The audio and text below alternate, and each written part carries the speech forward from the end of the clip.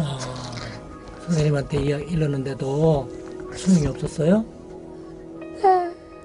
공부 못하고요. 못생겨서 응. 애들이 안 놀아줘요. 본인이 공부 못하고 못생겼다고 생각해요? 네.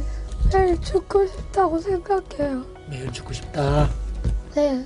아무에게도 얘기할 수 없었어요? 네. 누구한테 도와달라 하지? 부모님은 아니요. 몰라요. 일들로 인해서 엄마에게도 말하지 못하고 혼자 감당해야 했던 어린 시절 폭력의 상처들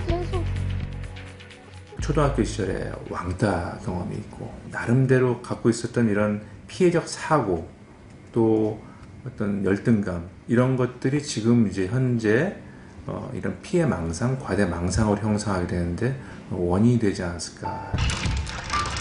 모두가 날 싫어한다. 아무도 날 도와주지 않는다. 괴로운 현실을 피하고 싶었던 소녀는 그렇게 마법 세계에 빠져들어갔습니다. 시간이 거꾸로 가고 있다는 걸 알고 싶어 했던 그녀. 그건 어쩌면 자신의 고통스러웠던 과거를 되돌리고 싶은 마음이었을지도 모릅니다. 힘들어요. 힘들어서 차라리 이 거꾸로 돌아, 돌아갔었다는 거 차라리 사람들이 몰라도 되니까 지금부터 시간만 정상으로 그냥 다 돌아가고 저도 기억에서 지우고 몸이 괜찮아졌으면 좋겠다는 생각뿐이에요.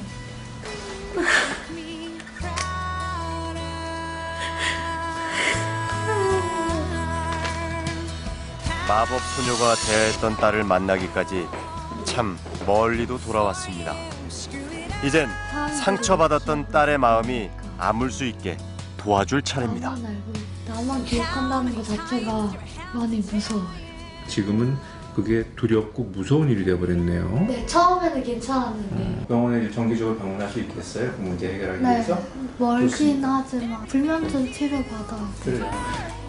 시간이 거꾸로 돌아간다던 마법 소년 이제 서툴고 어색하지만 내일을 살아가는 방법을 배워나가려 합니다.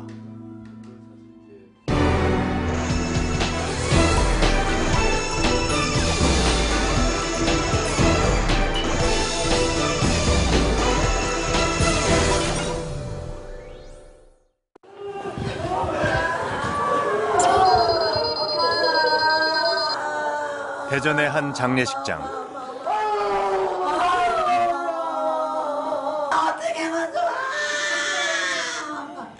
오열하는 어머니가 있습니다. 사진 속 아이는 이제 겨우 13살. 내가 장남인데 이놈이 또 이거 하나 해놔 이거 우리 집에 이 사람하고 이거 하나 늦게 본 새끼야 이거 눈에는 안 아프고 내가 어디 때 한 대 때리려다가 부러질 가면 못 때리는 새끼 이거. 그랬으면 그렇게 키웠어, 얘가. 그랬으면은. 나이 50에 본 귀한 외동아들이었습니다.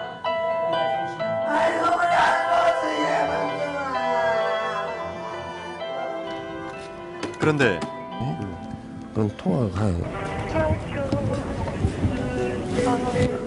무슨 30초를 가긴 신호가 가잖아 지금 갑자기 아버지가 어디론가 전화를 겁니다. 이상하게 소리 계속 신호가 난 말이에요 신호가 한 번은 통화 중이라고 나오더라고요 수신인이 아들입니다. 어디선가 울리고 있을 것만 같은 아들의 휴대전화.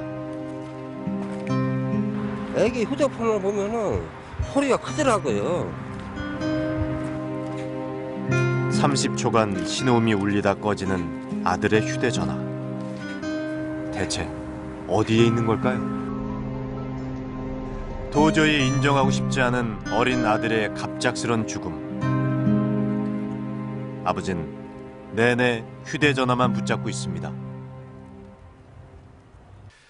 하나뿐인 아들을 잃었습니다. 마음을 추스리는 것도 힘들 텐데 아버진 자꾸만 휴대전화에 매달려 있습니다. 아들의 죽음과 휴대전화가 무슨 관련이라도 있는 걸까요? 지난달 22일 별다를 것 없는 날이었습니다.